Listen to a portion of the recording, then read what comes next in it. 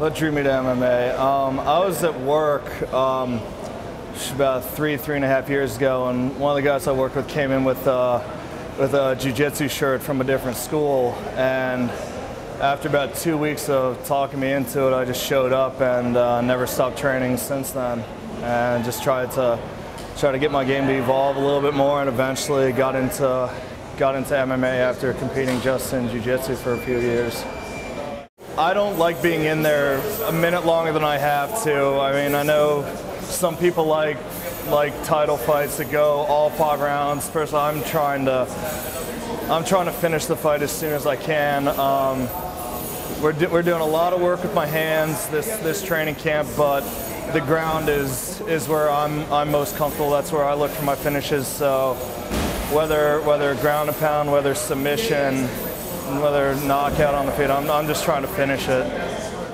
We have uh, we have worked our worked our butts off to scout him. It's, it was hard finding a lot of info on this guy, even with uh, even with eight wins and two losses. You know, we couldn't find a whole lot of video on him. Uh, we found one video where he was uh, where he was still fighting at heavyweight, and it looked just like a kind of a typical heavyweight fight, not really technical, but a lot of power a lot of aggression, a lot of just straightforward movement. And um, then we actually saw him fight in, um, in Richmond, Virginia a couple weeks ago when he was down to 205. Looked like he was a lot more comfortable with that weight class. He looked like he was moving a little better.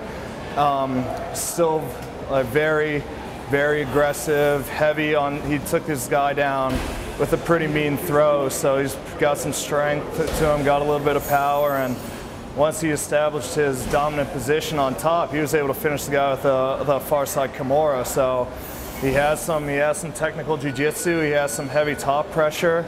Um, I don't think he hit the guy a lot, from uh, at least from what I remember from watching the videos. So and we just gotta gotta make sure that he adjusts to my game plan, and that I, I pressure him, that he doesn't he doesn't close the gap on his terms and control me. I want to make sure that I make him adjust to my style and I control the fight and I take everything to where I want it to go. Um, and when, when camp when camp is in, um, it's everything has to be by the book. But whenever whenever I have something coming up, man, you know, I'm I'm out just being being a knucklehead like everybody else. It's uh, not something I can do on a regular basis. But uh, I mean, when it's time to when it's time to have fun, it's time to have fun. When it's time to work, it's time to work.